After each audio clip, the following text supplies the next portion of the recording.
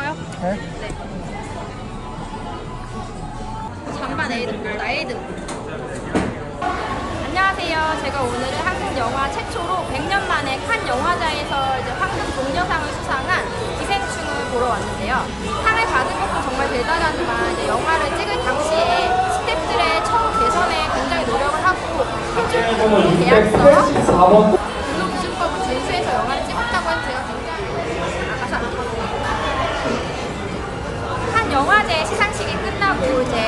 심사위원들의 박수갈채가 끊이지 않았다고 하는데요. 만장일치로 황금 종려상을 수상했다고 해서 더, 더 자랑스러운 영화인데 제가 영화를 드릴게요. 리뷰를 다시 한번 해보려고 하는데요.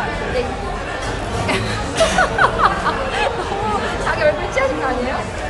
지금 제가 같이 영화를 보기로 한 분은 사실 저희 형부고요. 제가 한국에 여행 와서 지금 언니네 집에 있는데 형부랑 저랑 영화를 보러 왔어요. 그러면 제가 영화를 보고 한번 마지막에 간단한 안녕하세요. 황부입니다. 안녕하세요. 형부입니다. 이제 영화를 보러 올라가고 있는데요. 제가 메가박스는 정말 호주에 있으니까 몇 년 만에 오는지 모르겠어요. 어디에요? 다리? 어, 앞쪽이네. 금요일에 어쩔 수 없어. 들어갈까요?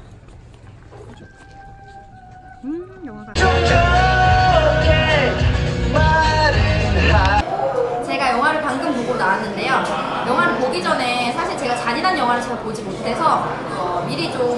잔인한 부분이 있나 찾아봤는데요. 사실 영화 스포일러 내용이 많아서 형부가 생각할 때 잔인한 거 맞나요, 영화가? 일부분에 약간 표현, 맞아. 표현을 한 건데 그거를 이제 뭐 이게 15세 관람가기 때문에 선정적인 내용이나 뭐 폭력적인 내용이 많지 않을 거라고 예상하고 영화를 봤지만 제가 느끼기에 뭐 나체가 나온다던가 엄청나게 폭력적인 뭐 조폭 영화처럼 폭력적인 장면이 나오는 건 아니지만 저는 좀 감당하기 좀 힘들고 약간 메스껍고 약간 약- 약간은 역겨운 그런 내용이 좀 많이 있었어요. 어, 전반 부분에서는 약간 블랙 코미디 같은 유쾌하진 않지만 웃- 웃게 되는 그런 부분들이 많이 냉소적이게 웃긴 부분이 있었다면 어, 영화 중반에 넘어가면서 굉장히 약간 불편하고 불쾌하고 어, 찝찝해요. 저는 굉장히 좀 하긴 야한 것도 그 어느 정도의 그 일부분 딱어 그냥 맞아 야한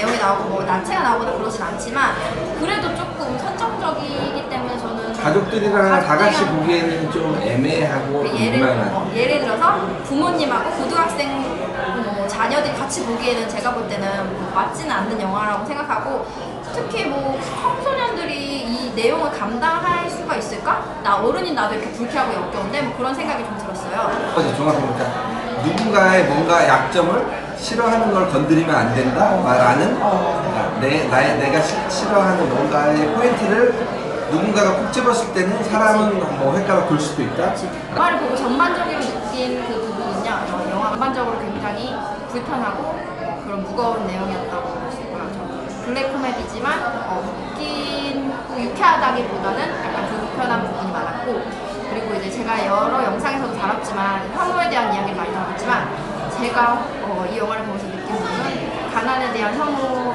자, 내가 가난에 대한 혐오가 있진 않구나 뭐 이런 불편한 느낌을 많이 들었어요.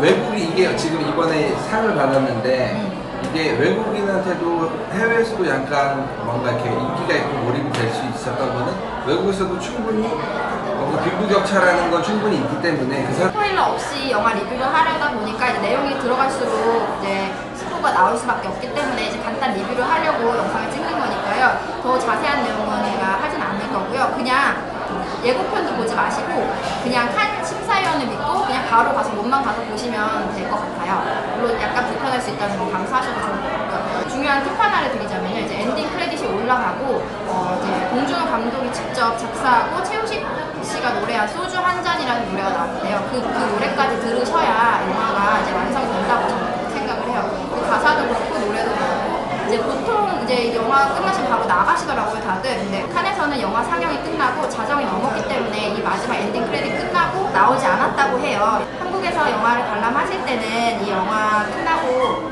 노래를 감상하실 수 있으니까 꼭 노래를 듣고 나오시면 좋을 것 같다고